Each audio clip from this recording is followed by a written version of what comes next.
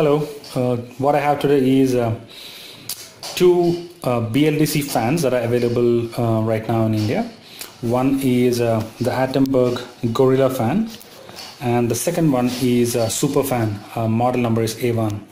I bought, bought, bought both of these from uh, pepperfry.com um, using an offer and the Gorilla fan cost me about uh, 3000 and uh, the Superfan A1 um, which uh, is um, retailing around 3689 I got it for 3200 using some coupons.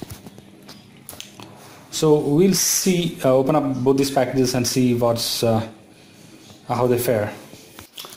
First I'm going to open up uh, the Gorilla fan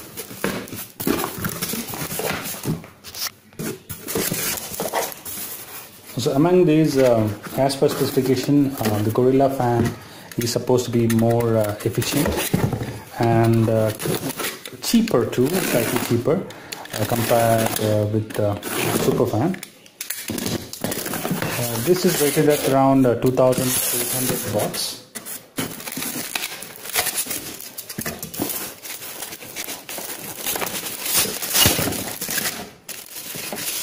See what we got here in the package.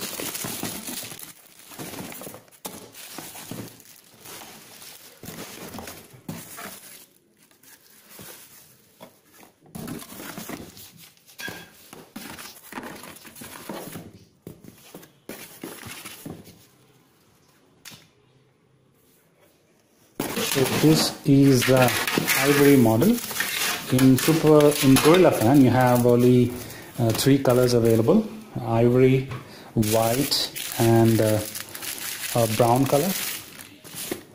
Um, whereas in super fan you have uh, a lot more um, color options. And uh, uh whereas a gorilla fan um, blades are uh, standard fan blades um, super fan has got much more fancy good looking blades um, this is a remote that comes with the super fan as you can see here you have got around uh, five speed keys a power and sleep key and uh, one two three four five keys for uh, time timer function. Um, so that's what you got in the package. You can take a good look. So um, next here I am uh, opening up uh, your super fan. What I ordered was an orange uh, color but what I ordered was an orange color but unfortunately they didn't have that. So um, they checked with me and finally sent me uh, a blue color fan. So let's see what we got in the package here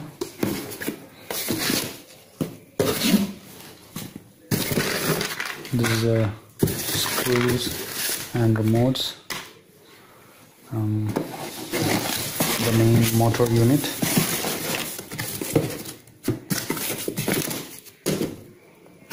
This is slightly heavier than uh, Gorilla.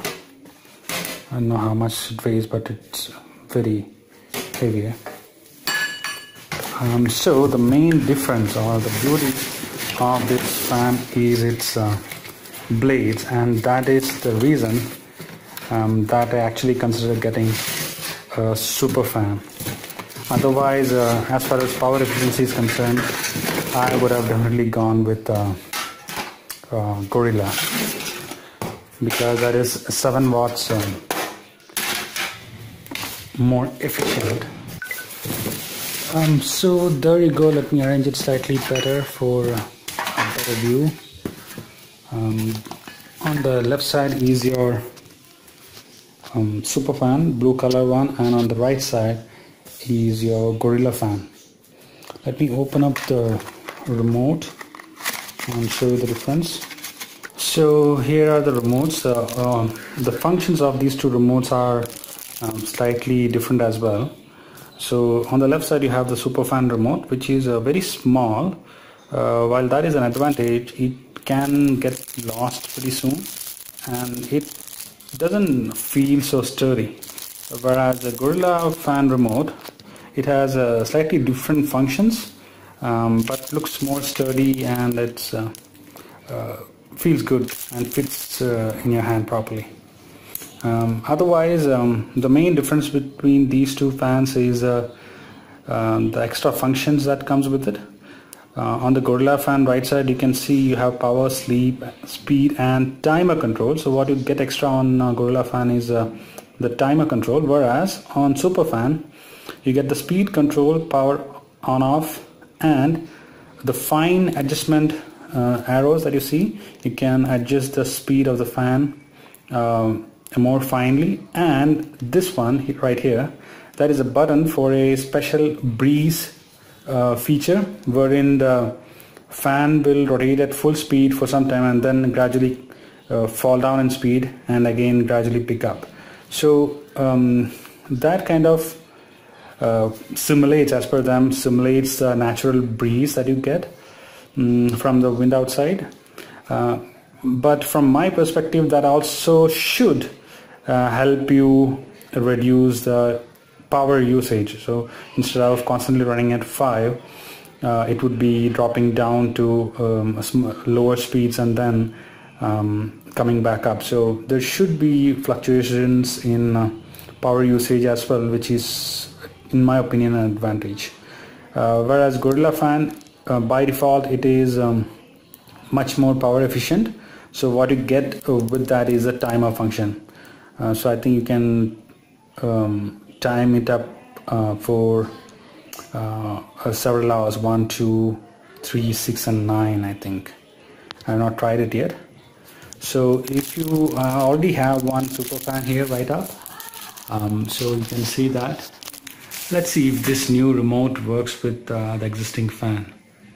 Um, make power it on yeah it looks like it, it works so this is a superfan uh, violet uh, color. Um, works really nice uh, better I think better speed than my uh, normal fan here that I had. Um, my standard fan was consuming around 70 watts whereas this fan uh, is running um, around uh, 35 watts at its peak speed. But generally what I found is running at speed 4 is uh, uh, equivalent um, to my older um, fan. So I think I might not end up using 35 watts slightly lower than that as well. So here are some details from the Gorilla fan manual. Um, so the timer allows you to time it for 1 2 3 6 and 9 hours. Also there is a sleep mode which apparently uh, what it does is reduces the speed after four hours by two steps and then fan runs to uh, continues to run on that reduced speed. So which sounds uh, reasonable because you require more air or uh, colder air when you go to sleep and gradually when it's uh, past midnight you wouldn't um, require that much uh, fan speed because the temperature would drop. So um, it seems reasonable. So but both of these fans um, uh, differ in that uh, extra functions that you have. Um, superfan uses uh, integrate no uh, uh, CR2032 uh, button form of battery whereas Gorilla fan uses a normal AAA battery and they have provided one set of batteries. So I'll fix it in um, couple of hours and then show you how it runs. Another thing is that uh, these fans do not require a, a, regulator so this thing right here um, will need to be disconnected. So that's what I've done here. Um, so it becomes redundant. So the entire control uh, goes by the remote that you have here